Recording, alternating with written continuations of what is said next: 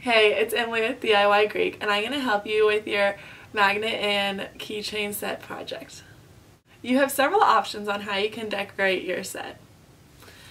In this set, you are given three metal bottle tops so that you can use as magnets and a bottle cap pendant that you can use as either a necklace, a keychain, or you can hang over your mirror in your car.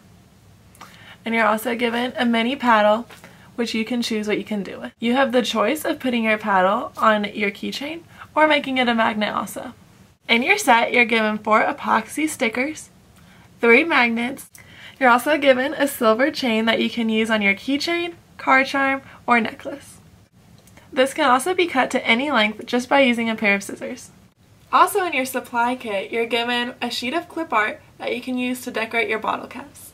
These look cute if you just have them standing alone with the designs, or you can also cut out the words to decorate on top. You have your choice to put your design on the top of the bottle cap or on the inside. And as you can see, you have countless options on the ways you can decorate your bottle cap. First, you're going to start out by cutting out the circle design you want. And you can just cut out it by a square.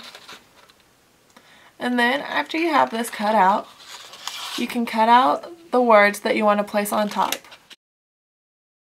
Then you're going to put some more glue on your toothpick and apply it to your circle. Mm-hmm. Now that I have enough glue on, I'm going to stick it inside the cap. And then take my epoxy sticker and just place it on top. And press down really hard to make sure you have a good seal. Then you're going to take the back side of your bottle cap and make sure it's clean and sand the center where the magnets is going to go. The cleaner this is, the better the magnet will hold. Now, you're going to take a dab of glue with your toothpick and place it on the bottle cap and just place your magnet on top. Now when you're done, you'll have a nice little collection to give to your sister. Now you're going to go through the same exact process with your pendant. And keep in mind you can use it as a keychain, a necklace, or a car charm. I hope you have fun creating these adorable little gifts.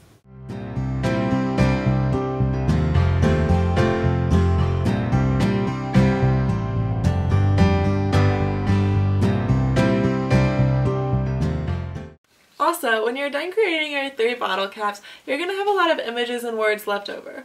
So you can just take old bottle caps and use these images on those. And the, and the epoxy dots aren't necessary if you put the images on the inside of the bottle cap.